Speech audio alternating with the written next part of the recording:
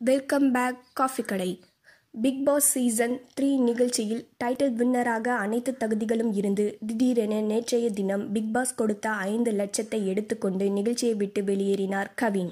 சாண்டி லாஸ்லியா முகேன் தர்ஷன் செரின் என அனைவரும் தடுத்தும் இந்த முடிவை இப்போது எடுக்கவில்லை. எப்போதோ எடுத்துவிட்டேன் என கூறினார் கவின்.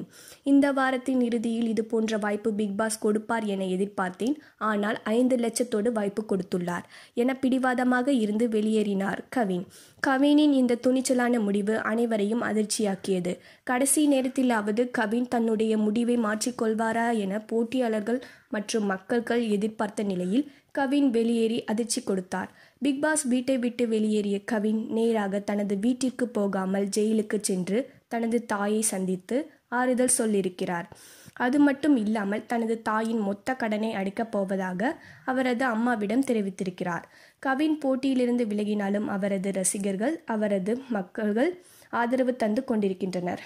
கவின் வெளியேற்றத்தை அவரது ரசிகர்கள் மிகுந்த வருத்தத்துடன் தங்களது ட்விட்டர் பக்கங்களில் தெரிவித்து கொண்டிருக்கின்றனர். இது போன்ற பதிவுகள் உங்களுக்கு பிடித்திருந்தால் லைக் பண்ணுங்கள் ஷேர் பண்ணுங்கள் கமெண்ட் பண்ணுங்கள் மறக்காமல் சப்ஸ்கிரைப் பண்ணுங்கள்